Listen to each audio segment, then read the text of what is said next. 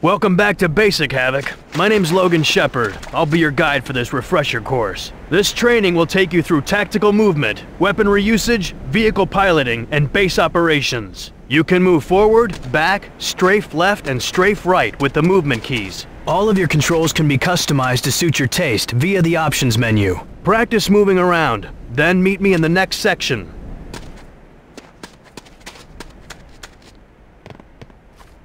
Here you'll learn about jumping and climbing. Pressing the jump key makes you jump. To climb a ladder, approach the ladder and press the action key. Now it's time for a test. Climb this ladder and jump to the opposite crate. Looks like you've got it. Now, let's cover your EVA unit. That device on your left arm is called EVA, short for Electronic Video Assistant. The most important thing EVA does is track mission objectives. I'll activate your first mission objective. Notice EVA announced the objective and indicated the location on your radar in the lower left-hand corner with a green star. Mission objectives come in three different varieties, primary, secondary, and hidden objectives. The green star indicates a primary mission objective. Objectives of this type must be completed for mission success. The data link includes a map, mission data, and a dynamically updated combat database. You can access any data link screen by pressing the EVA key, which activates the most recently viewed EVA page. That covers it for EVA. Just remember to refer back to your data links whenever you need tactical information. During missions, the action key can be used to interact with people and equipment. You can talk to a soldier by using the action key. Ask the soldier at the exit to open the gate, and we'll move on. Keep an eye out.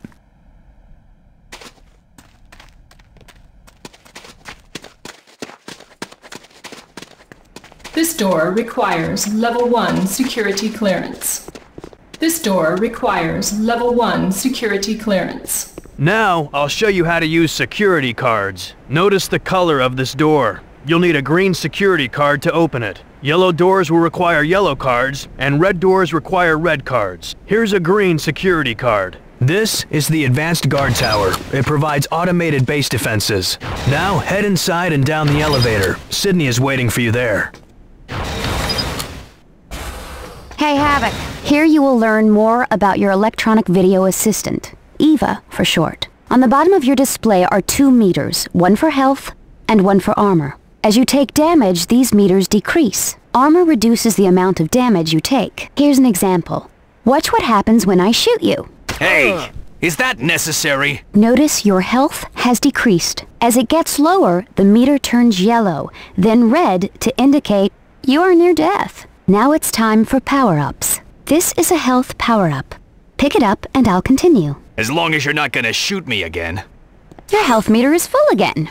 Now let's try an armor power-up. Pick this one up and I'll continue. Now your armor meter is full, meaning your armor is completely intact. Now watch your health and armor meters again.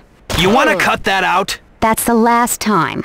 Honest. Notice how your armor was damaged, but you lost less health. Okay, you should be clear on power-ups, so let's move on to your radar. In addition to mission objectives, your radar shows the position of infantry, vehicles, and buildings. Radar shows your immediate surroundings, but your overhead map provides a more strategic view. Press the map key to take a look at your overhead map. Infantry appear as circles. Note the yellow circle showing my position on the radar. GDI units appear in yellow. Nod units in red. Neutral units appear in white. Watch the red triangle representing the nod vehicle as it passes on the radar.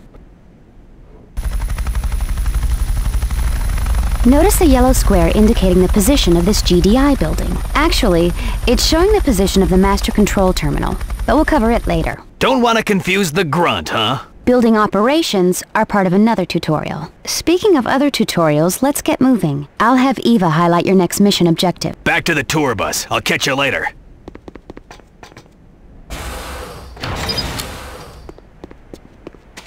She likes me. This is the infantry barracks. Inside, Gunner will explain weaponry basics.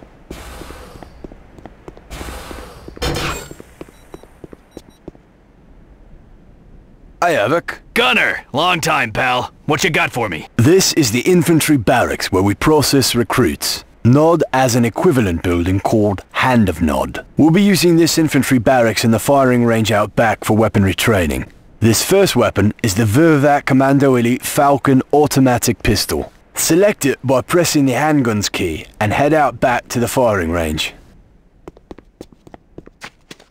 Notice your targeting reticle has an outer circle and an inner dot. The outer circle shows where you're pointing the weapon. The inner dot shows where the weapon will actually hit. You may have an obstacle in the way which prevents you from targeting properly. Point the automatic pistol at any target on the range. When you have a valid target, the reticle turns red. If you're reloading or out of ammunition, the reticle turns yellow. Further information about your target is displayed near the targeting brackets. Point the weapon at any target and press primary fire. Aim for the head to maximize the damage dealt per shot. Shoot all the targets in the range and we'll cover sniper rifle training.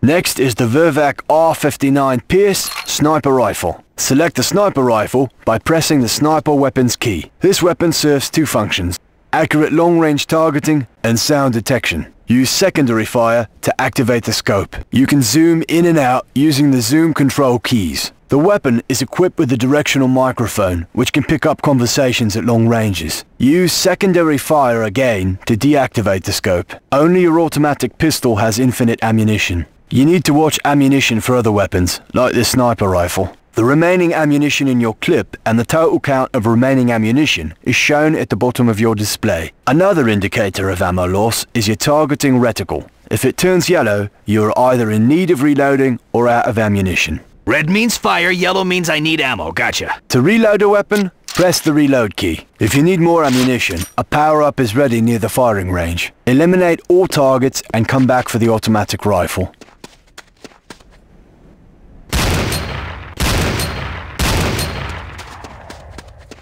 The next weapon is the Corbretti AR-70 Raptor automatic rifle. Use the automatic weapons key to select this weapon. This is good stuff, Gunner, but when do we get to the real explosives? Eliminate the targets and then come back for more exotic weaponry.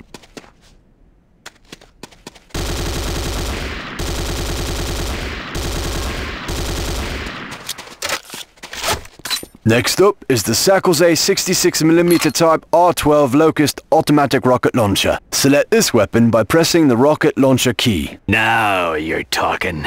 Take your time destroying all the targets. Come back in when you're done.